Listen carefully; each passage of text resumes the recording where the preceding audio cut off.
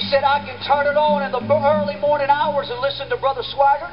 I can listen to Sister Frances. I can listen to Brother Donnie. I can listen to Pastor Gabe or any one of the ministers. And they have one goal in mind to see as many people saved and brought to Christ as humanly possible. Then she said, Pastors, you need to take note of that and get back to winning souls for the cause of Jesus Christ. Whether you like us or not, there's one thing that you have to admit our message has never changed. Thank God that not only has our message never changed, it will never change. Because it's the only thing that works. Like it, if you don't like it, learn to love it. Because it's the only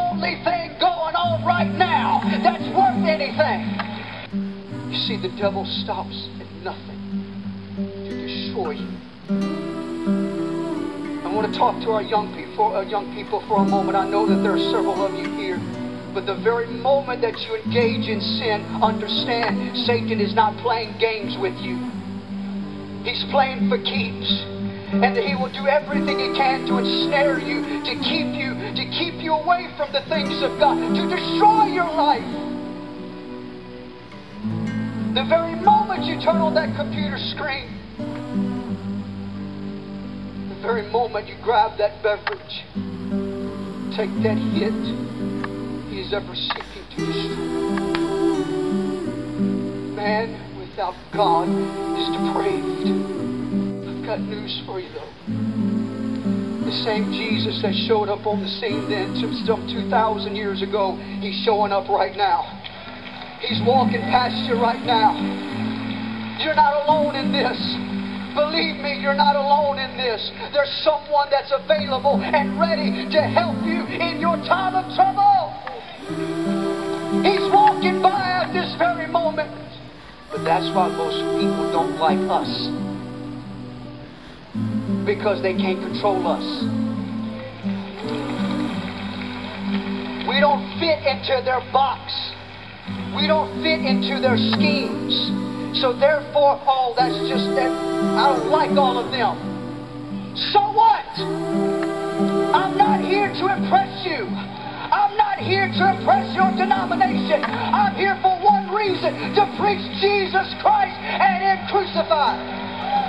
Let the whole world know who you are. I'm a child of the Most High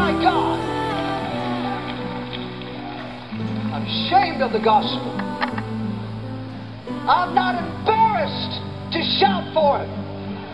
I'm not embarrassed to raise my hands at times. I'm not embarrassed to dance every once in a while because of what he's done for me. I was lost, but he found me. I was sick, but he healed me. I was turned around, but he turned me right side up. I thank you, Jesus. I thank you, Jesus. Thank you, Jesus. Thank him all the days of my life. Thank the Lord. That's why we do everything we can to make sure that there's one thing that goes from out of our mouths, no matter who it is, no matter who's ministering, but there's one message that goes forth.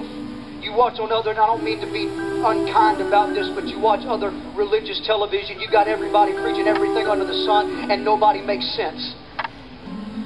But that's why when you turn on this network, there's one message. There's many voices, but there's one message Jesus Christ and Him crucified. I get a little angry at times whenever a frog gets more protection of life than an unborn baby. I'm sorry, that's murder.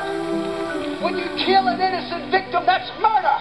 Call it whatever you want. It's murder. It's wrong. It's wrong. It's a sin. When I see the effects of sin in our young people, I get angry. When I see the stupidity that goes under under the guise of church in our youth groups and in our churches all across the country, I get a little angry. Because I listen, the world should not invade the church. But the church should invade the world. That's what we're called to do. We're called to go out and to preach the gospel. We're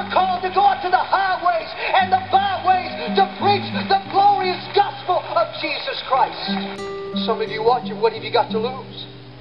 You've tried everything. What have you got to lose? You're sitting dying right now. What, do you, what have you got to lose? You're in sin right now. What have you got to lose? You're tired of living this way. What have you got to lose? You tried the self help. You tried the, the 10 step. You tried this and that. What have you got to lose? It's time for you right now that as Jesus is saying, stretch forth your hand. Just stretch forth your hand. Stretch forth your hand. You've got nothing to lose. Try Jesus. Try Jesus. You're sitting there with that alcoholic beverage in your hand and you're sick and tired of living that way. Try Jesus. Try Jesus. Christian, try the cross. Try it. Simple faith.